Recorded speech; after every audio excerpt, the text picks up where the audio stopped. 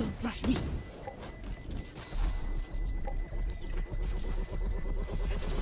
Clutch. You should stop trying.